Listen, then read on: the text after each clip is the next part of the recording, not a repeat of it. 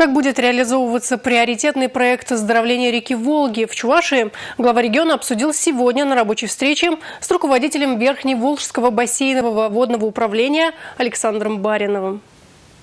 Глава региона Михаил Игнатьев отметил, что вопросам экологии в республике уделяется особое внимание. Работа по уменьшению доли загрязненных сточных вод в реку Волга ведется не первый год. К примеру, в Чебоксарах при реконструкции Московской набережной обустроили очистные сооружения. Минприрода Чувашии направила свои предложения для включения в федеральный проект оздоровления Волги. Предложение представили, мы работаем с министерствами, наступательно действуем.